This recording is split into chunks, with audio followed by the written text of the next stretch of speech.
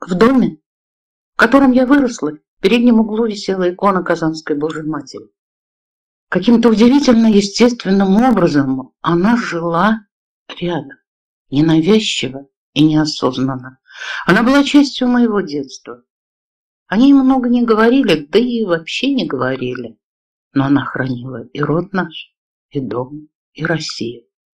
Ненавязчиво, неосознанно и чудным образом неприметно.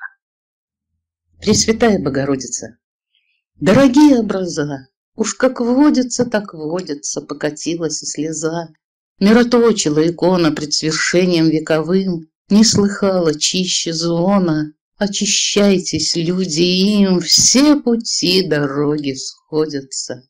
Не плутайте по земле, Пресвятая Богородица, Собери людей во мгле.